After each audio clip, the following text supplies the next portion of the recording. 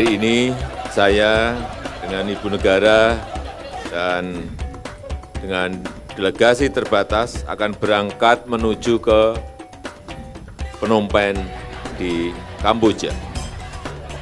Saya akan menghadiri rangkaian pertemuan KTT ASEAN ke-40 dan ke-41 serta KTT terkait lainnya hingga tanggal 13 November 2022.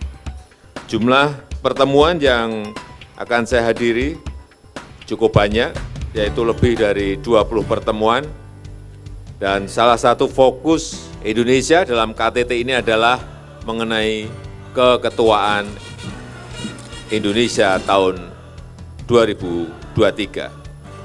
Sebagaimana diketahui setelah memegang presidensi G20 ini, Indonesia akan menjadi ketua ASEAN di 2023.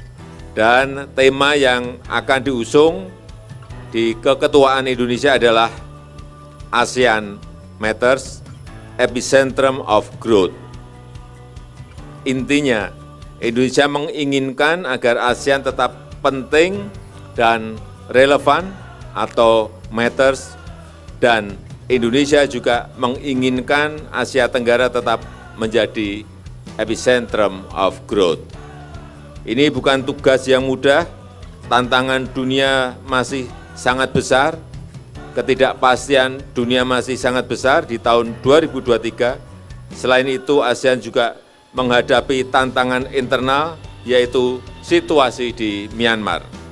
Saya akan tiba di Bali, insya Allah tanggal 13 November malam, dan langsung melakukan kegiatan terkait G20. Demikian yang bisa saya sampaikan. Terima kasih.